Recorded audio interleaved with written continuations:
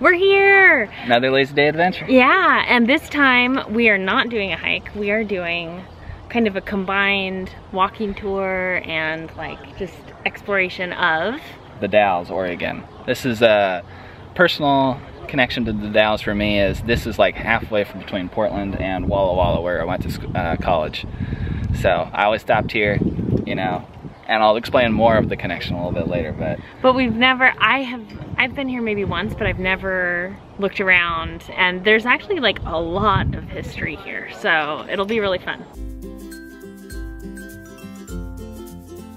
We're at the Fort Dalles Museum. This is our first stop. And this is uh, as it says on the sign, yeah. one of the Oregon, one of Oregon's oldest history museums, continuous operation since 1905 and it's housed actually in this old house that used to be, I think, sur the surgeon. Oh yeah, because it says surgeon's quarters. uh, We're just reading the signs to you guys. this is a great vlog. um, it's pretty inexpensive as well. So yeah, only five bucks. So if you're ever in the Dalles, there you go. More signs for us to read to you. this marks the site of the commanding officer's house of the of Fort Dalles, 1850. Pretty crazy. This is a copy of an 1857 watercolor from just right after these buildings were built. So this oh, is wow. our building right here, hiding behind the trees. This is the double officers building here under construction. And when you go out in the yard, you'll be able to see the remnants of the foundation in the yard with some great big pine trees growing in the middle of it. So we were talking about the uh, Lewis and Clark exposition. These cabinets are actually from that. Yeah, 1905. And this is some of the schoolwork from the students. Yeah.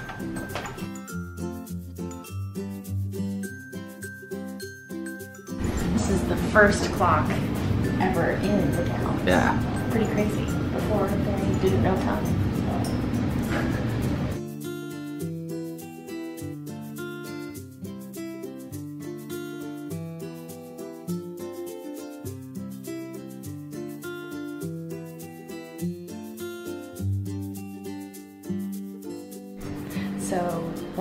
Work at the museum, one of the docents there uh, asked me if I ever kept my hair to, and would donate them to her because she liked to make hair uh, embellishments like this. It's a cross made out of hair. Right? Yeah. Wow. And there's a bunch of them. Yeah, the center bouquet is family hair made from wire. Bucking contest, bareback riding, and lady bronc riding. Betsy, are you gonna enter the lady bronc riding contest? I probably will. I'm pretty good. Yeah. After I smoke my Alsatian pipe. Ooh, let's get a shot of that. Oh, it's pretty fancy.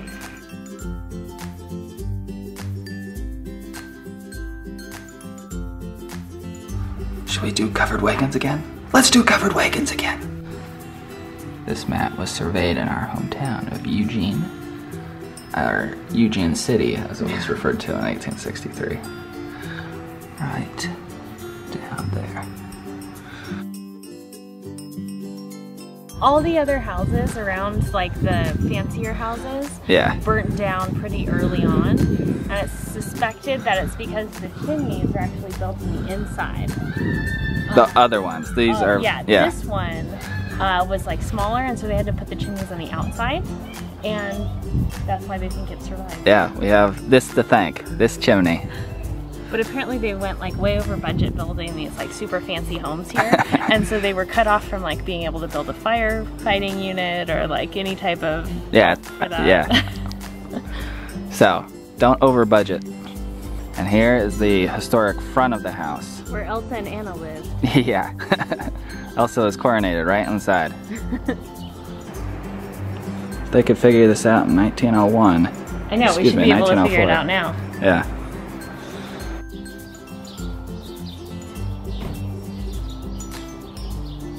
That was a great museum. That was a great museum.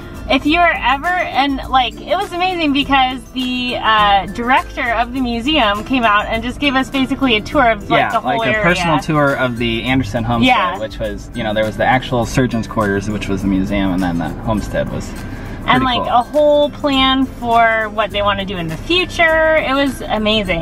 Yeah. It was very, very cool. It pays to visit when nobody else is in the museum. yeah, yeah. And now we're gonna go uh, to Sorosis park, Yes. which is hopefully not a skin disease. yeah.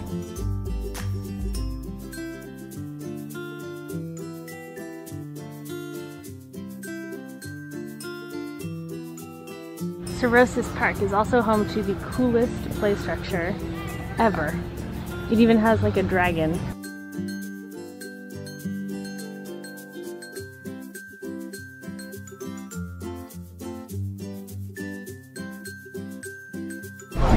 Now, where do you go to eat in the Dalles when you're hungry? Burgerville. Best shakes for sure. Definitely. All right, we are starting the walking tour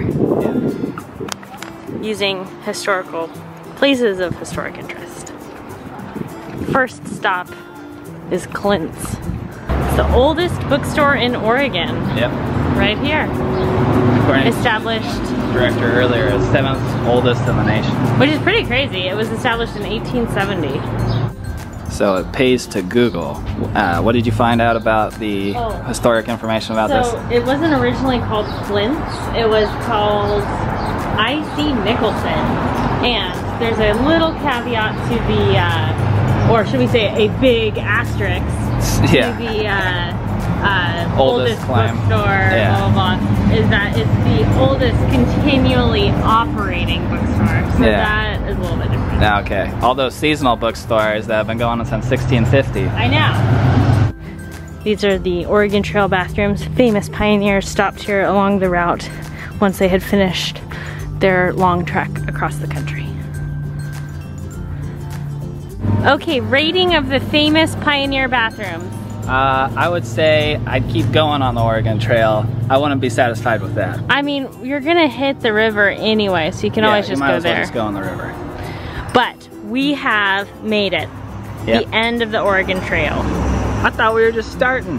Well, two people have already died from dysentery, Oh, well, so. I'm probably not helping my chance. of going there.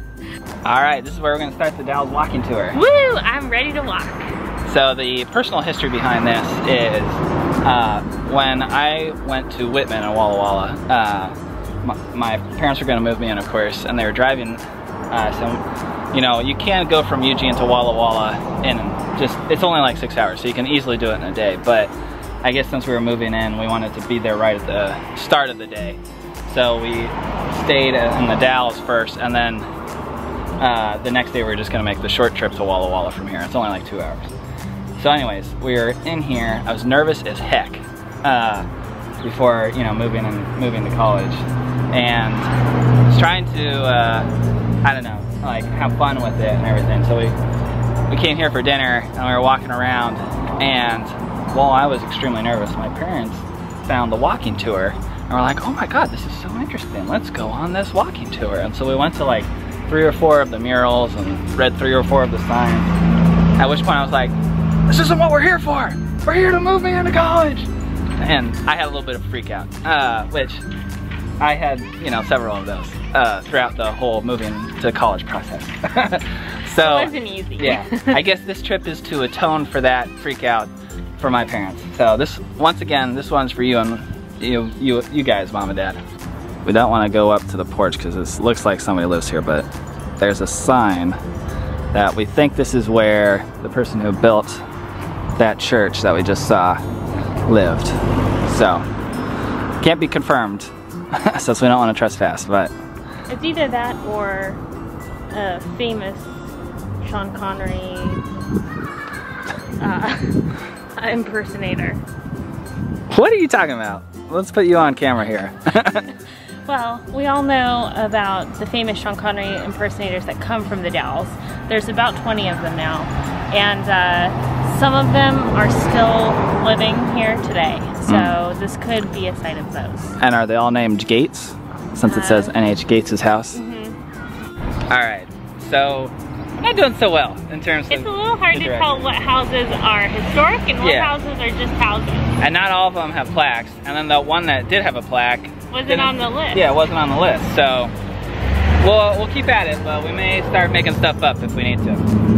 All right, we think we found another spot. This is the Methodist parsonage. Hmm. Boom, documentation.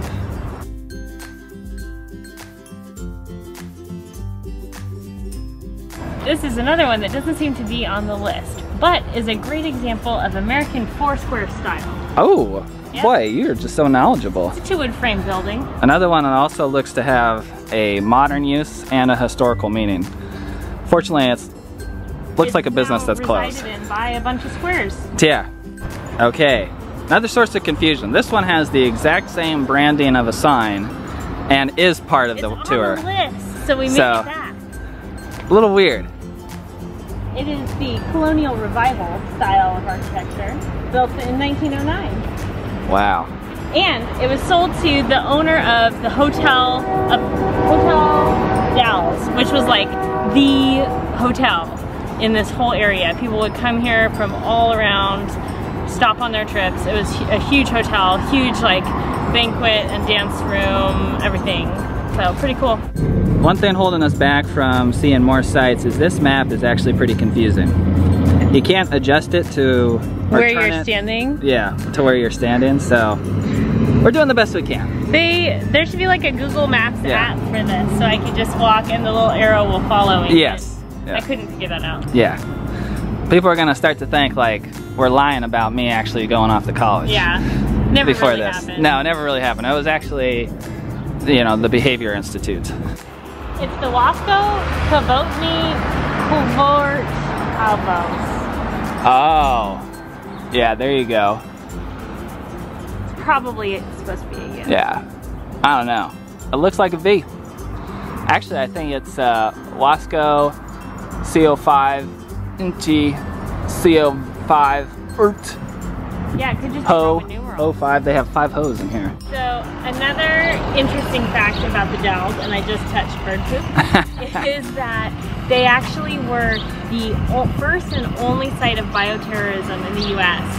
Um, this uh, here actually uh, is kind of pointing to that. It's dedicated to all who steadfastly and unwaveringly opposed the attempts of the Rajneesh followers to take political control of Wasco County from 1981 to 1985. And Betsy, who were the Rajneesh?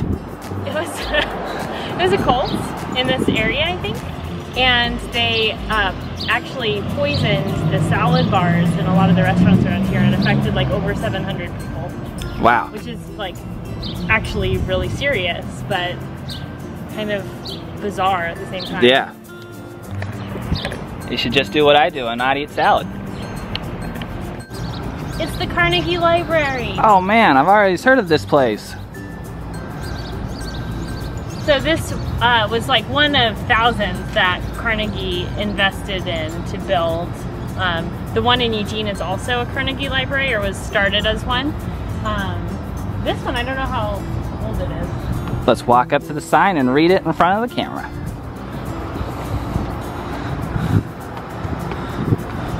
1910. Oh man! All right, another sighting. Right next to this weird alley is an opera house. Woo! Yeah. The Phantom of the Opera was actually reportedly to be from from this opera. Oh really? I heard it was his cousin. Okay, Yeah. I don't know. his American buddy. Yeah, his American buddy, his pen pal. Okay, so we're not in the Dalles anymore. We're No. back. Yeah. and uh, mainly because our battery ran out. Yeah, we've learned our lesson. We'll buy us a second battery. The what'd you think of the trip to the Dalles overall? I really liked uh, the Fort Dalles Museum. Was it the Fort Dalles Museum or just the Museum of the Dalles? No, Fort Dalles Museum. Okay, That's I what really liked that. And I thought it was, I mean, it was super cool that the museum director walked us around the whole place. Yeah. And uh, he was super knowledgeable. And I felt like that showcased their history the best of anything that we did. What did you, what did you think? Uh, I like that certainly, and certainly the personal tour that we got. Uh, the walking tour, I have to say, I think I got it right as a you know emo high school senior going on college freshman. uh, you know, it's not the best signs, and you know the signs are basically oh, this was built in this style of architecture at this time and it was controlled by this person. It's like, well, that one wasn't so good. Uh, I certainly wouldn't do it right the night before your kid is gonna go off to college.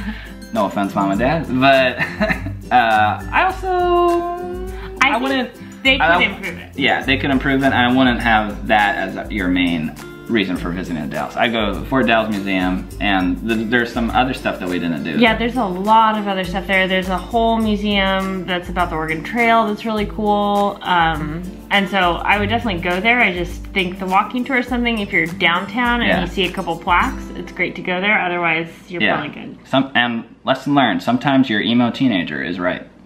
All right, we'll, end off with that. Uh, but thanks for coming along on another adventure. Yeah, super fun.